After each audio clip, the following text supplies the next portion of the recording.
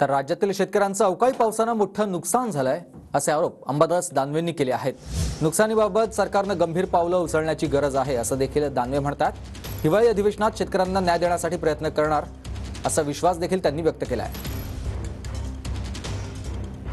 सध्या सगळ्या जिल्ह्यामध्ये जवळपास हा अवकाळी पाऊस आलेला आहे. नाशिकहून निफाडून जर जे काही फोटोग्राफ्स आले द्राक्षाचे तर अतिशय भयावह आहे. आणि म्हणून शेतकऱ्याला या सगळ्या अवकाळीचा मोठा फटका बसलेला आहे. मला वाटतं सरकारने या सगळ्याविषयी खंबीरपणे पाऊल उचलण्याची आवश्यकता आहे. अधिवेशने नागपूरमध्ये याच्यामध्ये या विषयावर निश्चित शेतकऱ्याला न्याय मिळवून देण्यासाठी आम्ही सगळे मिळून प्रयत्न करू